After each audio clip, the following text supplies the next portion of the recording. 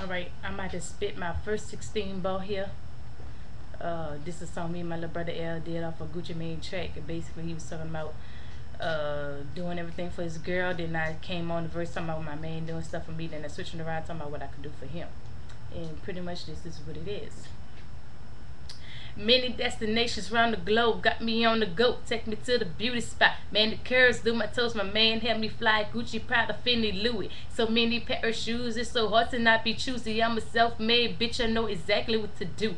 I need another book. Too many stamps on my passport. Five-star resorts. Put your feet up and just chill. Get anything you want. You don't have to flip the bill. I think he laying low cause I heard he murked a nigga. I gotta hide out in Belize in the villa. It don't bother me. Then I'm sleeping with a kid killer. Do anything for you because you know that you're my nigga. That's just what it is. My first 16. Ah!